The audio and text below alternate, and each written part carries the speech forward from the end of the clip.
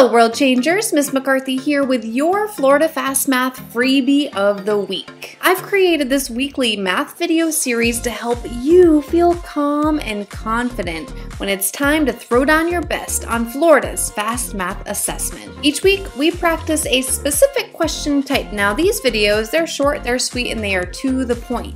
And if you know that you need some more practice, at the end of this episode, I'll point you in the direction for tons more math video lessons. Our focus for this week is the question type, drum roll,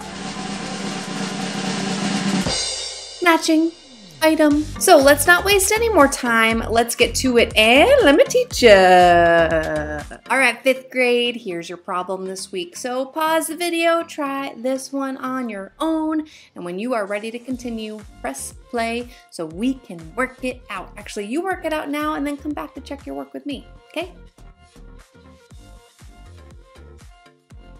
Welcome back, fifth grade. So this one says to match each rectangular prism with its correct volume. Volume is the amount of space an object takes up. That's right. Find the length times width or base and multiply the height. That's what we're going to do here. So we have two rectangular prisms. We're going to take this one first and find the volume. We need to remember that a volume, that the volume equals length times width times height or base times height. You actually don't need to remember that because you should have it on your reference sheet, but it's kind of a simple formula to remember here. All right, so we have a length of nine centimeters times a width of nine centimeters times a height of 9 centimeters. Three dimensions here, so when we find the volume, it's going to be cubic centimeters. So 9 times 9 is what? 81. Awesome times 9. So let me just bring that over here. That would be 729 cubic centimeters, which is right here. So you can mark that one. Next, finding the volume of the second one. Oh yes, this one now. Okay, so same formula here. Volume equals length times width times height. Groovy. The length is 11 centimeters. The width is what? 7 centimeters.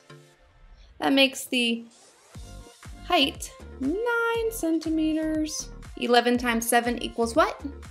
77. So 77 times 9. Let me bring that over. 7 times 9 is 63. Woo, it's high up here in the clouds. Nice landing, dude. And 9 times 7 is also 63.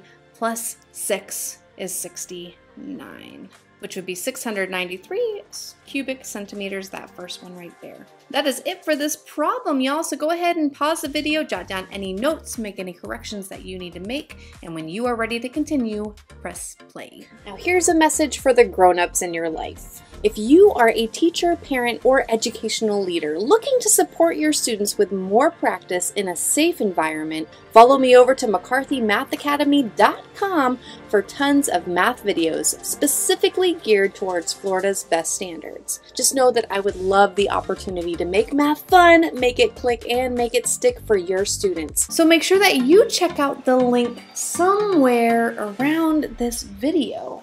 Now before we go, let me remind you that practice is not something we do once we're good, it's the one thing we do that makes us good. If you want to get better, stronger, or more confident with something, you've got to make intentional time to practice. And when you're practicing, it's important to give your very best effort. I believe in you all, but the magic and the power really happens when you start to believe in yourselves. And with that, I'll see you next time, World Changers.